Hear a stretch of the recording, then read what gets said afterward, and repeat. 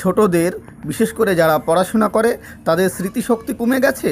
কোনো চিন্তা করবেন না আজকে টিপসটি জানার পরে সেই স্মৃতিশক্তি বৃদ্ধি করতে পারবেন। সাথে সাথে যে সমস্ত বড় মানুষের আঘাত লাগা কারণে, বিভিন্ন রোগের কারণে বা বয়সজনিত কারণে স্মৃতিশক্তি কমে গেছে, তাদেরও স্মৃতিশক্তি বৃদ্ধি হবে। একটি স্পেশাল টিপস বলব তার দ্বারাই নমস্কার, আপনি দেখছেন হেলথ টিপস টিভি সাথে আমি টি বিশ্বাস। বরাবরের মতো হাজির হয়েছি। আজও একটি নতুন ভিডিও নিয়ে। আজকের ভিডিওটিতে আমি আপনাদের শেখাবো স্মৃতিশক্তি কীভাবে বৃদ্ধি করবেন। হ্যাঁ ঠিকই শুনেছেন, ব্রেন শক্তি কীভাবে বাড়াবেন।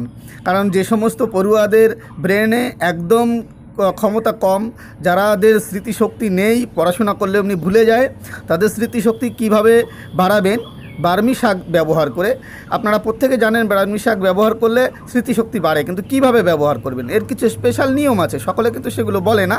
আজ আপনাদের সামনে সেই সমস্ত বলব। বাচ্চাদের সাথে সাথে বয়স্ক লোকেরও স্মৃতিশক্তি বৃদ্ধি করতে পারবেন। দুরকম আমি টিপস বলব, একরকম বাচ্চাদের আর একরকম বয়স্ক লোকেদের। তো আমি আর বেশি কথা বলব না। আসুন, আপনি যদি আমার চ্যানেলে নতুন হন, তো দয়া করে চ্যানেলটিকে সাবস্ক্রাইব করবেন, পাশে দেওয়া বেল আইকনটি প্রেস করে অল লেখাটি প্রেস করে রাখবেন, যাতে আমি এমনই হেল্পফুল ভিডিও বানালে তার নোটিফিকেশান সবার আগে আপনার কাছে পৌঁছায়। তো আসুন আর কথা বাড়াবো না, আমরা আলোচনা শুরু করি। ভিডিও রুলস অনুযায়ী কোনো আলোচনা করতে গেলে যে গাছ নিয়ে আলোচনা করব, সেই গাছ সম্পর্কে পরিচয় করানো উচিত। তো বার্মি শাক সম্পর্কে আপনাদের আর কি নতুন করে পরিচয় করাবো?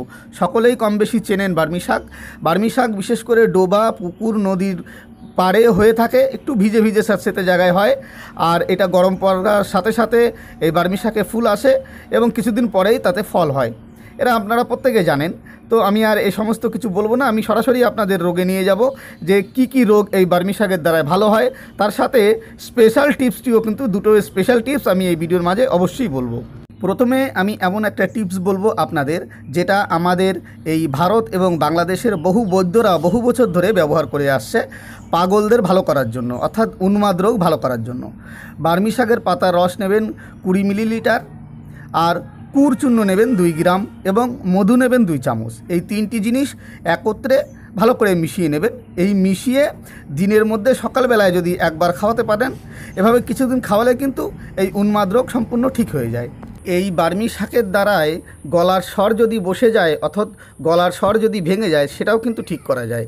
বার্মি গাছের শুকনো লতা ও পাতা, বট, হরুতুকি বাসকের শেকড়, পিপুল এই কয়টা একত্রে দেড় গ্রাম পরিমাণ নিয়ে একত্রে গুঁড়ো করে তিন থেকে চার চামচ মধুর সঙ্গে খেলে অবশ্যই কিন্তু গলার স্বর ঠিক হয়।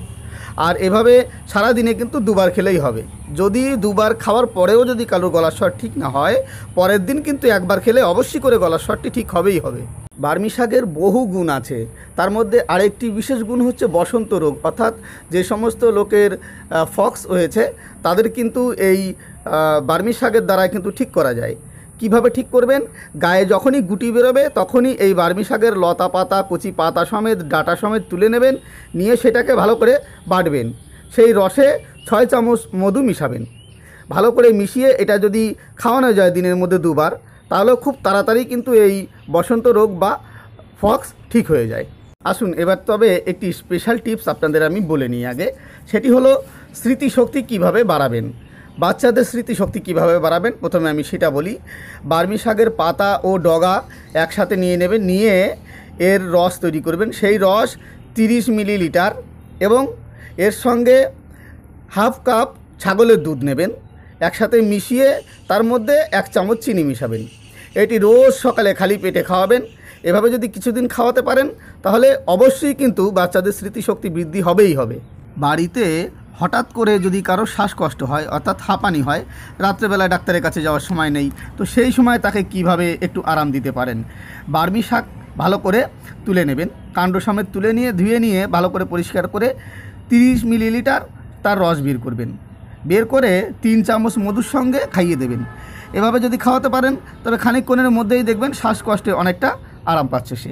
তো বন্ধুরা, আমি যেমন বলেছিলাম ঠিক তেমনই এবার একটি স্পেশাল টিপস দেব বয়স্ক মানুষের জন্য।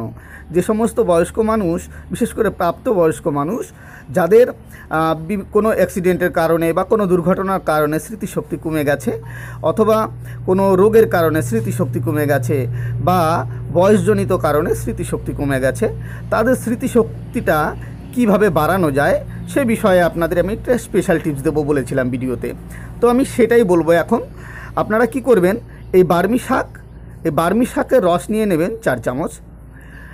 আর কলমি শাকের রস নেবেন দু চামচ এবং হেলেঞ্চা শাকের রস নেবেন দু চামচ। তার সাথে ছাগলের দুধ নেবেন, ভালো করে ফুটিয়ে নেবেন। ফুটানোর পর যেন এক কাপ থাকে, সেই এক কাপ দুধ ঈষৎ উষ্ণ গরম থাকবে। তার মধ্যে এই বার্মি শাকের রস চার চামচ, দুই চামচ কলমি শাকের রস এবং দু চামচ হেলেঞ্চার রস মিশাবেন। এটা মিশিয়ে তার মধ্যে এক চামচ চিনি দেবেন। ভালো করে গুলাতে থাকবেন, গুলিয়ে যখন দেখবেন চিনিটা গুলে গেছে, তখন এটা খালি পেটে সকালবেলায় খেতে দিতে হবে। এইভাবে টানা পঁয়তাল্লিশ দিন খাওয়াতে হবে, মাঝে একদিনও যেন বাদ না যায়। এভাবে যদি খাওয়াতে পারেন, তো পঁয়তাল্লিশ দিনের মধ্যে দেখবেন স্মৃতিশক্তি অনেকটাই স্ট্রং হয়েছে, অনেকটাই ফিরে এসেছে। আগের মতো যেমন তাদের স্মৃতিশক্তি ছিল, সেই জায়গায় কিন্তু তারা ফিরে এসেছে। যদি বাচ্চাদের ঠান্ডা লেগে কাশি হয়ে থাকে, বুকে কফ জমে থাকে, তাহলে কি করবেন? বার্মি শাক নেবেন।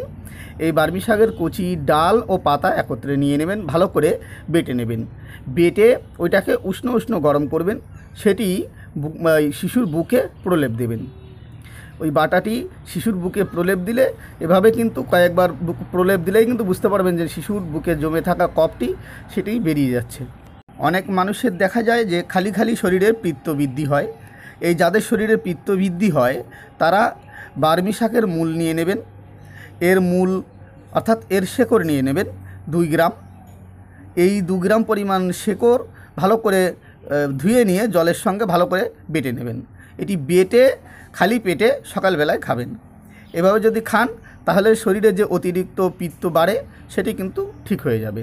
তো বন্ধুরা, আজ এ পর্যন্ত আমার দেওয়া এই টিপসটি বার্মি শাকের বিষয়ে যে টিপস সেটি আপনাদের কেমন লাগল?